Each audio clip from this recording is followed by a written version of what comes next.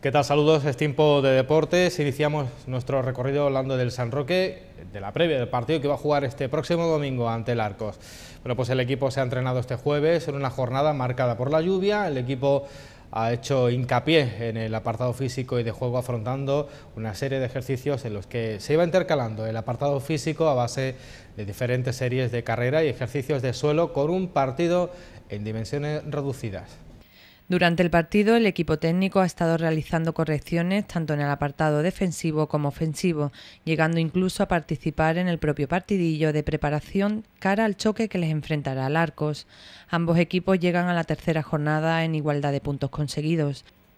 El Club Deportivo San Roque es decimotercero con un punto en dos partidos. El Arcos Club de Fútbol es decimocatorce con un punto en dos partidos. En la primera jornada empataba dos goles frente al Sevilla C y en la segunda jornada perdían en su visita a Coria por 2-1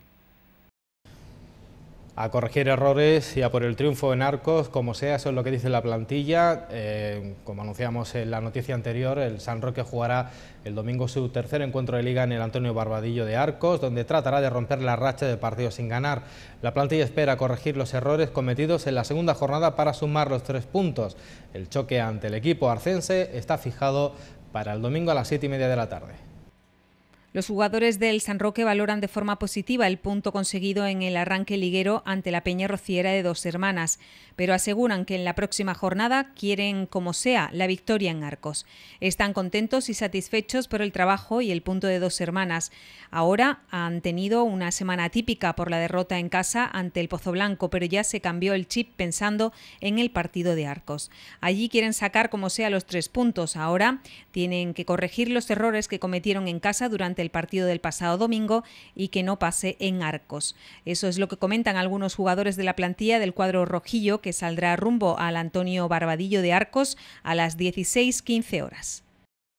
Y en golf, esta primera semana de septiembre se disputa la eh, vigésimo octava edición, vigésimo octava entrega de la Copa Presidente de Golf de la Cañada. Como en años anteriores, la edición comprende tres torneos, uno de septiembre en categoría senior, 3 de septiembre en la categoría infantil y por último 4 de septiembre la categoría de damas y caballeros. Este jueves se disputaba la edición en categoría senior con un total de 110 participantes con salidas simultáneas a las 8 y media de la mañana y bajo la modalidad Stableford, los participantes han disfrutado, como viene siendo habitual, de un recorrido en óptimas condiciones y además acompañados de una leve brisa. Los jugadores, después del juego, pudieron disfrutar de una magnífica comida patrocinada por los concesionarios del restaurante de la Casa Club. Numerosos regalos de sorteo fueron el colofón de esta magnífica jornada inaugural. Los ganadores han sido, en primera categoría, Renz Iva Patrick con una tarjeta de 39 puntos. En segunda categoría, Francisco Martín Cerralbo con 40 puntos y el premio a la mejor dama recayó en Gloria Sancho Lora.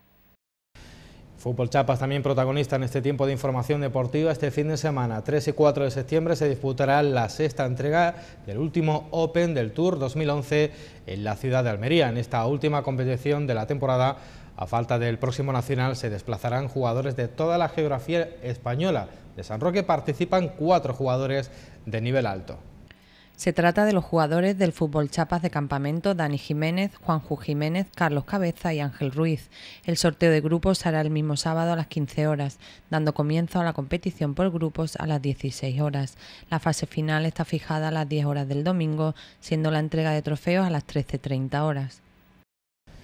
Y todavía quedan algunos trofeos, algunas eh, copas de pretemporada en fútbol base. Club Deportivo San Roque y Taraguilla van a participar en la cuarta entrega del trofeo Ciudad de la Línea. Lo organiza el Balón Linense y van a participar, van a tomar parte equipos de, eh, desde la categoría de prebenjamines a juvenil de la comarca del campo de Gibraltar. El evento se celebra a partir de las diez y media de la mañana en los campos José Puyol de la Ciudad Deportiva Municipal de la Línea. Los equipos participantes son, además del Linense, filial de la Real Balompédica Linense, el Bellavista Linense, Peña Madridista Linense, Club Deportivo San Roque, Agrupación Deportiva Taraguilla, Tesorillo, Gibraltar Lions y Ceuta. Así nos marchamos, es todo por hoy en cuanto al deporte, tendrán más información en nuestros próximos servicios informativos y recuerden también en internet, nuestras páginas web sanroque.es y multimedia sanroque.com.